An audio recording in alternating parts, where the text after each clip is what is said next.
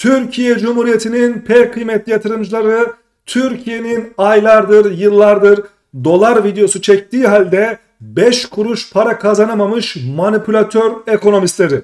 Sizlerle beraber bu video içerisinde 10 numara 5 yıldız nokta atışı gerçekliklere imza atacağız. Sizlerle beraber bu videoda borsanın okulu okumakla bir alakası olmadığını, yüreklilikle, cesaretle, metanetle çok daha alakalı olduğunu detaylı bir şekilde kanıtlayacağız.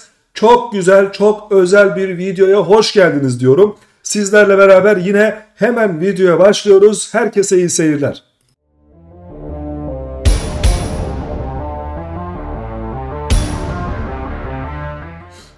Evet kıymetli dostlar benim videomu izleyen üyelerimin, takipçilerimin çok büyük bir kısmı benim abonem değil.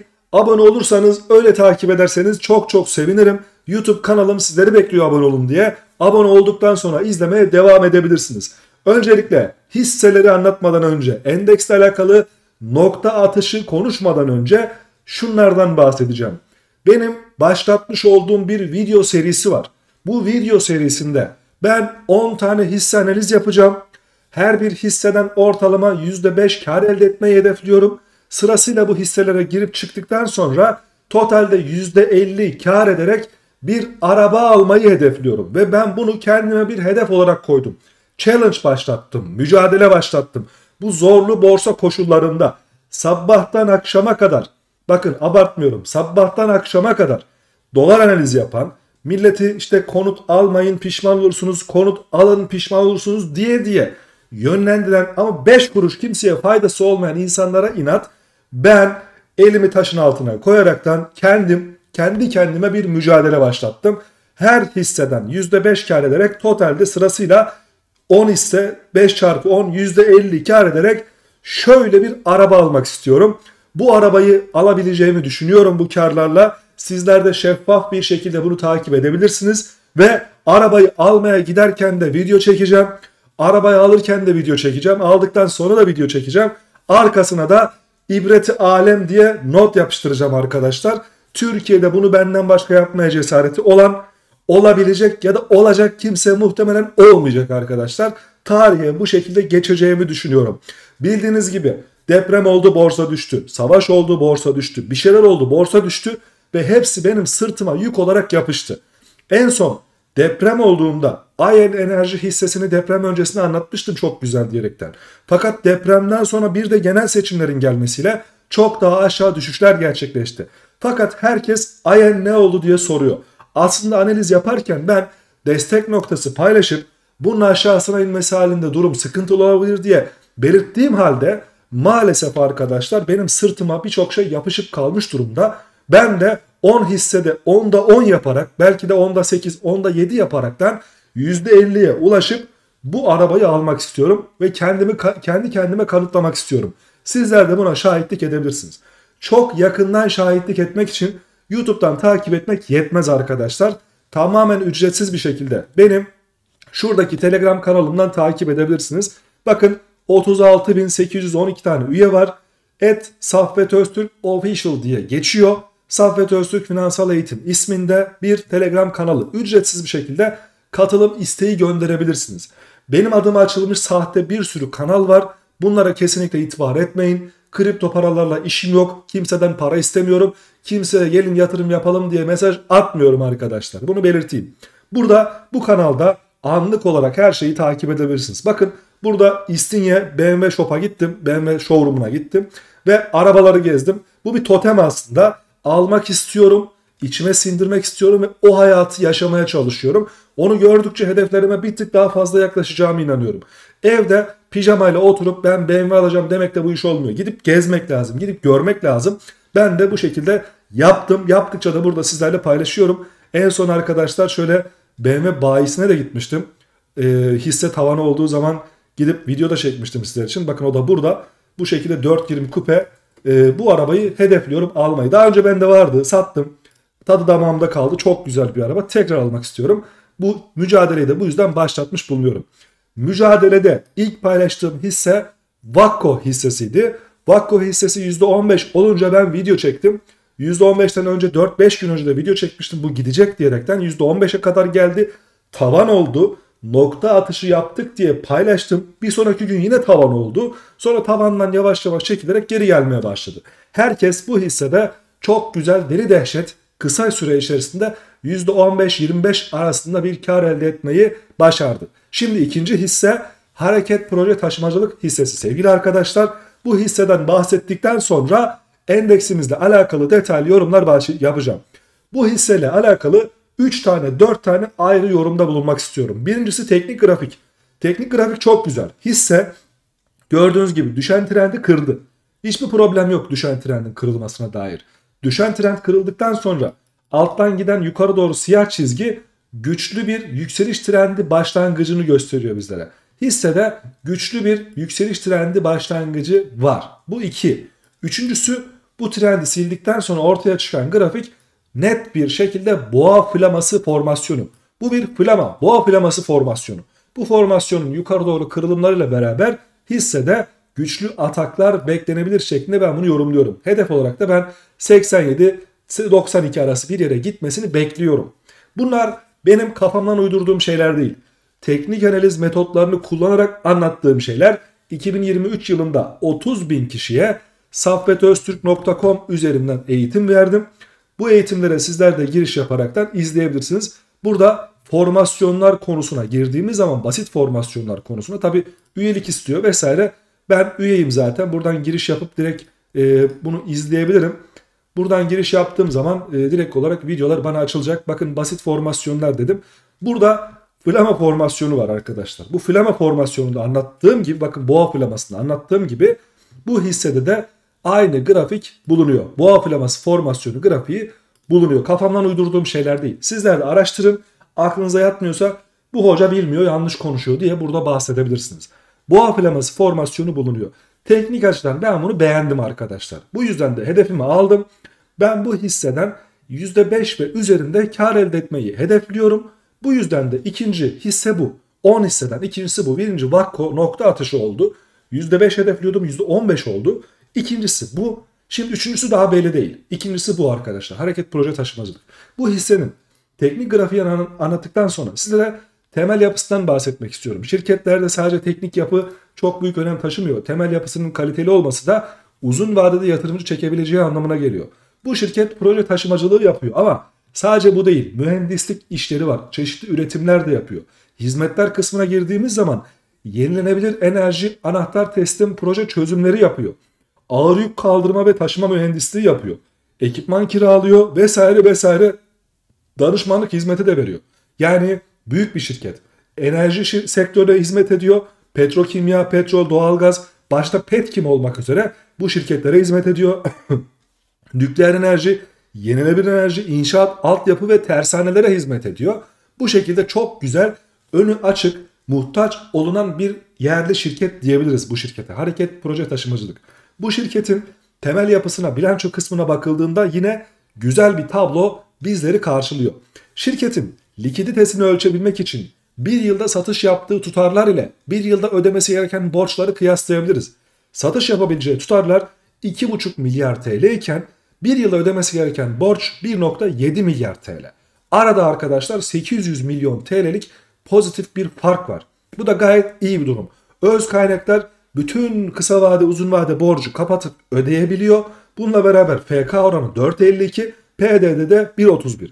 Yani ucuz, mali yapısı güçlü, likiditesi yüksek bir şirket olarak görünüyor.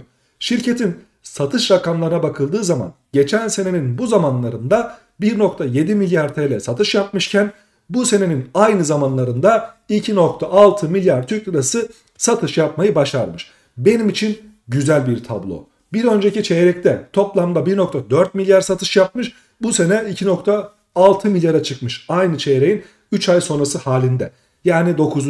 ayda 2.6 e, milyara çıkmış. Çok güzel. Dönem sonu karı da aynı şekilde geçen sene eksi 157 milyon TL zarar ederken bu sene 357 milyon TL kar elde etmiş. Bu da büyük bir değişimi bizlere gösteriyor. Bu ikinci kriter. Bir, teknik açıdan benden pozitif not almayı başardı.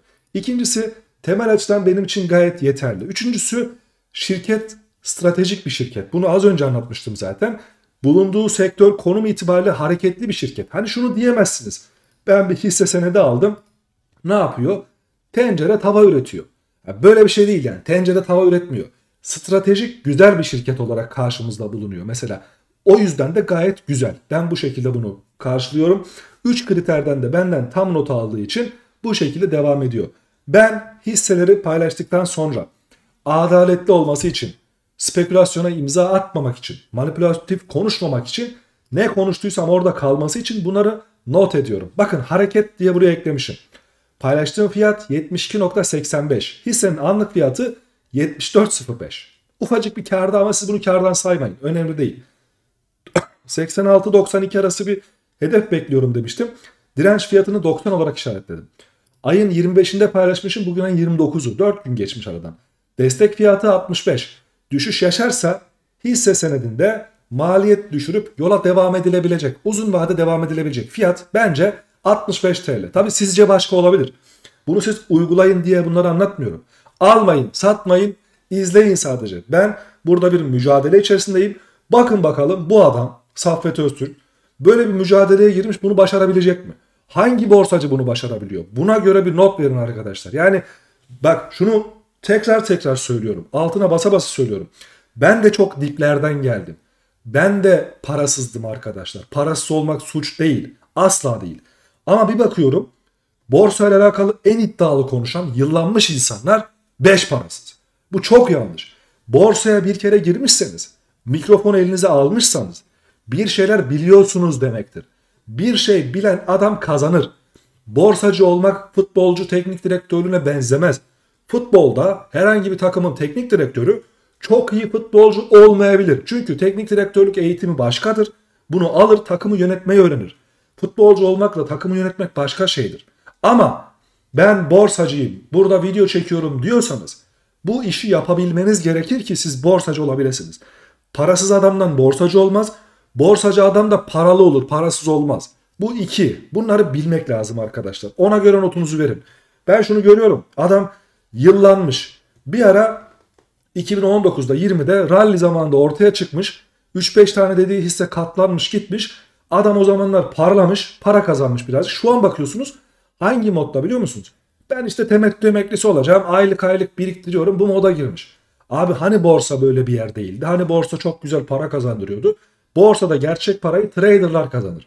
Günübirlik alanlar, birkaç hafta alanlar, fırsatı kaçırmayanlar, borsa düşeceği zaman hemen nakite geçenler kazanır. İşte ben bekliyorum diyenler bakın 2023'ün başından beridir 2024'ün sonuna geldik. Kan ağlıyorlar. Yani aynı yerde seyrediyorlar. 2 senelik enflasyonu ekleyince hepsi zarardalar.